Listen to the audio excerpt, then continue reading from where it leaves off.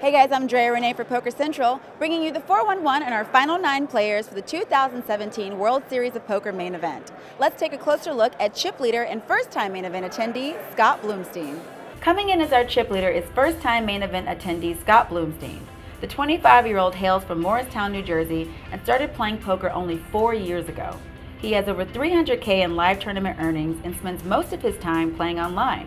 He won the 2016 WSOP.com New Jersey Player of the Year, and he was the first to achieve a million in online tournament cashes in the regulated U.S. He's a self-taught player who learned most of his poker through videos and online forums.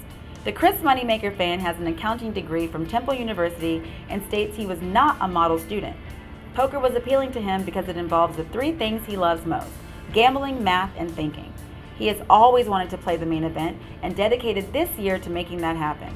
Blumstein says the main event experience has been surreal. The important part for me is that it will put me in a position to do some good in the world.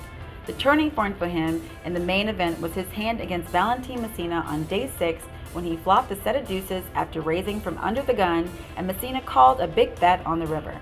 Things were starting to feel very real for Blumstein.